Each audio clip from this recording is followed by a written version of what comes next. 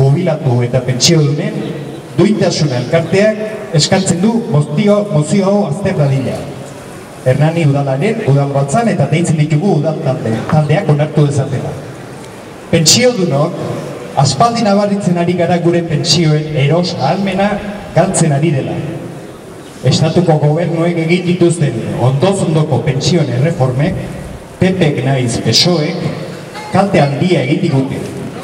Gu gara, pentsio duno, murrizketak nozitzen ari garela. Ilabete bukaerara.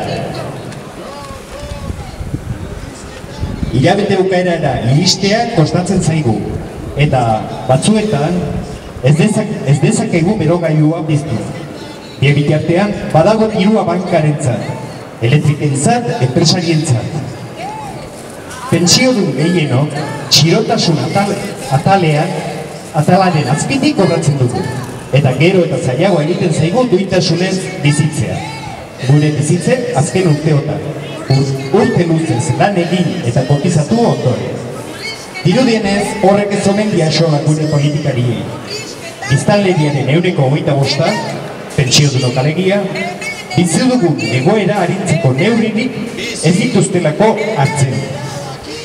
Ez da aurreneko handia eskatzen duguna intzakotzat har gaitezela. Duintasunez bizitzen lagako diguten gutxieneko pentsioak berma dakizkigu. Honen arira, gogoan izan behar dugu pentsiorik kaskarrenak dituzte gehien gehienak, onarte zinaten zigor bikoitza jasaten duten emakumeak direla.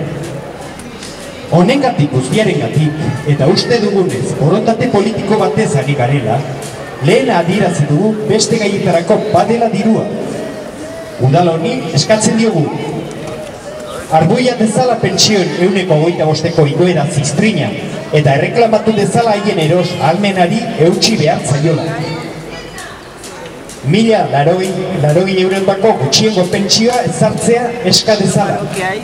Txirotasun atak, e, ataletik irten gaitezen. Euskal Herriari dagokion era eta Europako gutun sozialak ezarria betez eta hori gauzagarria izango. Ez de bitartean eskat diezaiola gaztizko jaularitzari aipatu kopurua pentsio duen guztiek hilero eskura dezaten. Behar den osagarri osagarria ezarri, eh, ezarri behar den. Ezar da dila Euskal Herriko babes eta gizarte segurantza sistema.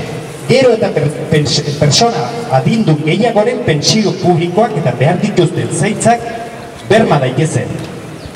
Datorren urtean, 2019 garren urtean, ezarri beharko litzatekeen jasangarritasun faktorearen ezarpena arguia dadila, zeina gure pentsioi murrizketa berria eta handia ekarriko dien. Bidal diezazkiela estatuaren gobernuari eta gazteizko jaularitzari, udalonek onartu dituen erabakiak. Oso ondo.